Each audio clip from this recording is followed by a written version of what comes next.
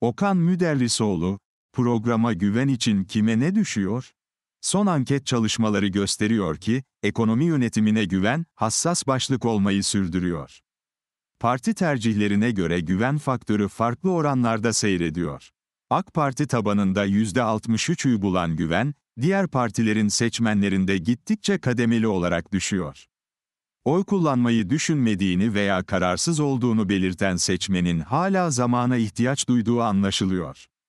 Son yıllarda yüksek seyreden enflasyonun, Covid-19 pandemisi ve devam eden artçı şokların, asrın felaketi olarak nitelendirilen 6 Şubat depremlerinden kaynaklanan yıkıcı etkilerin sosyoekonomik dengeleri derinden sarstığını kabul etmemiz gerekiyor.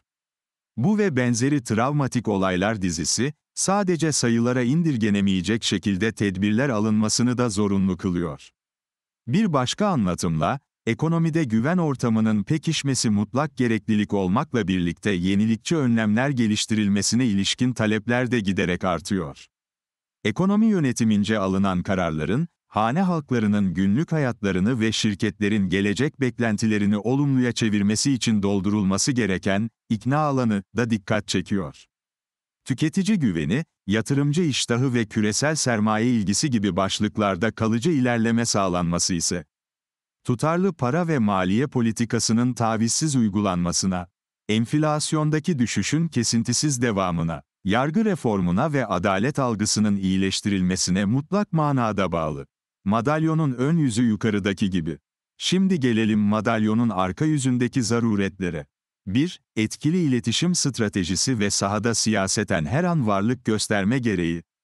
2. Cumhurbaşkanlığı, AK Parti Genel Merkezi ve Meclis Grup Yönetiminin tamamlayıcı şekilde ekonomik programı anlatması.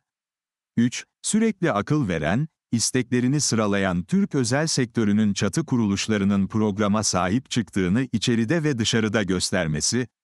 4. Ekonomik programın başarısının sadece Cumhurbaşkanı Yardımcısı Cevdet Yılmaz ve Maliye Bakanı Mehmet Şimşek'in şahsi meselesi olmadığının kabulü ile destek olmayanların en azından köstek olmaması.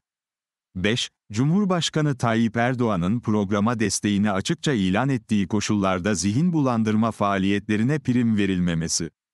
Ve nihayet, Cumhur İttifakı'nın bağışıklığını test eden olay ve beyanların piyasalarda kafa karışıklığına yol açmaması için ittifak ortaklarının açık, örtülü imalı paylaşımlardan mümkün olduğunca kaçınması.